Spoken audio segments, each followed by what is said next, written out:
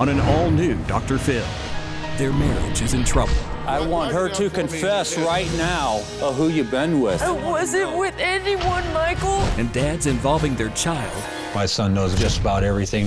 in all their private problems. I know you're a freaking liar! Leave! Leave! I am very troubled by hearing this child scream at his mother. Things get so intense, She's manipulating the whole situation and she's turning this on me. I've tried to be your strength I would not all your life and you have done nothing but bash me. Cheated on you. Dr. Phil stops the show Robin, would you please come up and get Cindy? for a dramatic one on one.